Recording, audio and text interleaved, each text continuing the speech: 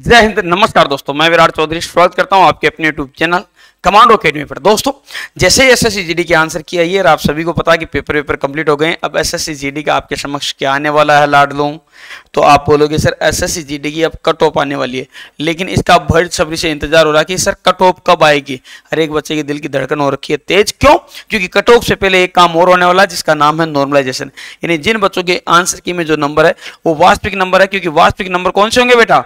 जब नॉर्मलाइजेशन में आपके नंबर बढ़ेंगे, उसके बाद का जो आपका आंकड़ा होगा, वो फिक्स आंकड़ा होगा और वो आपका वास्तविक नंबर होने वाला है। इसीलिए सभी इंतज़ार कर रहे हैं अब फ़िज़िकल की कट ऑफ़ के लिए। तो बार बार यही कमेंट आते हैं, सर फ़िज़िकल की कट ऑफ़ कब तक आएगी? हम फ़िज़िकल की तैयारी करें या नहीं करें? साथ ही एक चीज़ बता दो लाडलो की अगर आप दूसरे एग्जामों की अभी तैयारी कर रहे हैं तो कमांडो अकेडमी की एप्लीकेशन पर आपको मात्र दो सौ में मैथ और रीजनिंग का पूरा कॉम्बो अगर आप रेलवे ग्रुप डी का कोर्स आते हैं तो ओनली फोर नाइनटी नाइन में आपको रेलवे ग्रुप डी का कोर्स अवेलेबल है, जो कि आप ले सकते हैं कमांडो अकेडमी के एप्लीकेशन से।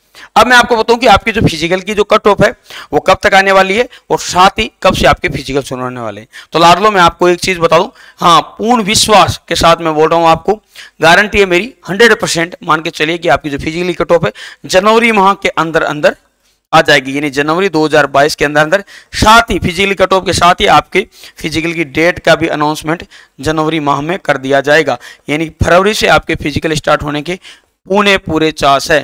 तो ये ध्यान रखिए, जो बच्चा फ़िज़िकल नहीं कर रहा है, उसको कर देना चाहिए। जिनकी वेट ज़्यादा है तो उनको 100 परसेंट करना चाहिए। जिनका चेस्ट कम है, उनको भी अभी चेस्ट के भी मारना शुरू कर देना चाहिए लाडलो। ठीक है? जय हिंद, जय भारत।